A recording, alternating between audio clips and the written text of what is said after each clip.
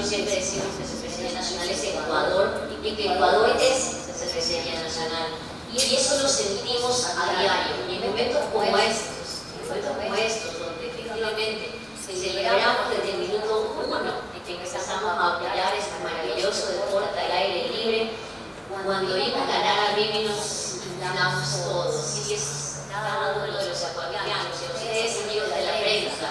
Gracias por el apoyo constante, gracias por estar pendientes, gracias por estar aquí. Si no fuera por ustedes, este mensaje no llegaría a cada rincón del Ecuador. Para nosotros es importantísimo este evento, para la reactivación económica productiva de nuestra zona. Hemos sido muy golpeados en esta pandemia y es el momento de poder empezar con eventos de este tipo que siempre nos han dejado muy buenos resultados para la economía de nuestra provincia en el área del turismo. El deporte, el deporte de salud, el deporte de vida. Y si hablamos de, de, turismo, estamos hablando de dos puntos importantes dentro de nuestro territorio, la zona norte, la ruta del Espóndilus, con Montañita como su referente, y también Salinas. Es importante para nosotros poder desarrollar este tipo de eventos que generan recursos, que generan trabajo, que generan eh, bienestar para nuestras familias que han estado muy golpeadas después del turismo, que ha venido a menos y es el momento de poder realizarlo. Es una gran noticia para nosotros, hemos respaldado esta iniciativa desde que visitaban con el embajador del océano que tenemos nosotros, a Pachín Rodríguez.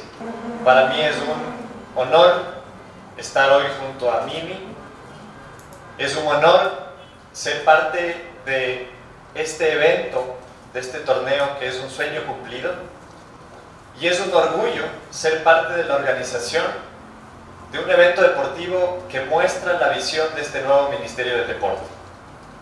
Un evento que es organizado y que es trabajado en equipo. Aquí en la mesa ustedes miran a la dirigencia deportiva, a la dirigencia del Comité Olímpico, al Ministerio del Deporte, a una deportista que es desde ya gloria del deporte ecuatoriano y a la empresa privada. Esa es la forma de trabajar en proyectos deportivos de gran magnitud, uniendo esfuerzo, uniendo ideas, uniendo proyectos y uniendo recursos en favor del deporte. Solo trabajando en equipo llegamos lejos. Y así es como se tienen que organizar los eventos deportivos para que tengan impacto a nivel nacional y a nivel internacional. La organización de este evento muestra la visión de este nuevo Ministerio del Deporte porque a través de un evento deportivo estamos dinamizando la economía de los sectores en donde se va a organizar.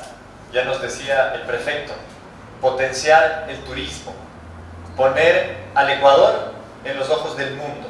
Eso es lo que logra un evento deportivo como este torneo que por primera vez se va a organizar en el Ecuador, un evento avalado por la Liga Mundial de Surf.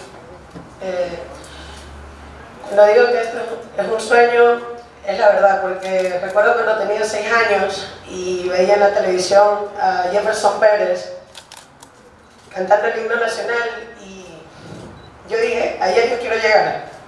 Y es un sueño no solo mío, es un sueño de toda la comunidad surfer y de muchísimos ecuatorianos que siempre me apoyan, de mi comuna montañita, de mi provincia. El día de hoy lo cumplimos.